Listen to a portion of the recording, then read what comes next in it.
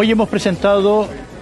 los resúmenes de la participación ciudadana en el edificio que va a ser la futura plaza, la gran expansión de Santa Brígida, que yo como alcalde y mi grupo de gobierno quiere convertir en el eje fundamental de estas medianías, de este centro de la isla, que sea un eje vertebrador, que tenga un uso social, cultural, turístico, deportivo, que permita satisfacer todas las pretensiones de los ciudadanos de la villa de Santa Brígida que tantos años han esperado para que esto se desarrolle.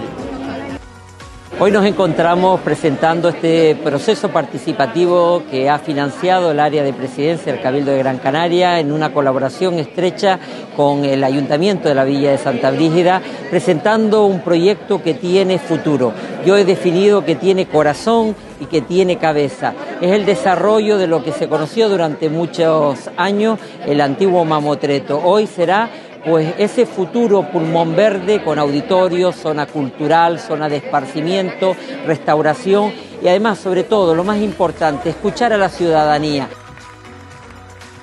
Hoy hemos presentado eh, la devolución de un proceso de participación eh, eh, que hemos desarrollado aquí en el, en el, municipio de Santa Brígida para plantear soluciones, soluciones digamos de forma participada al, al, conocido mamotreto, ese, ese espacio de cerca de dos campos de fútbol que ocupa el centro del casco. La solución que se ha propuesto y que se ha empezado a avanzar para la discusión es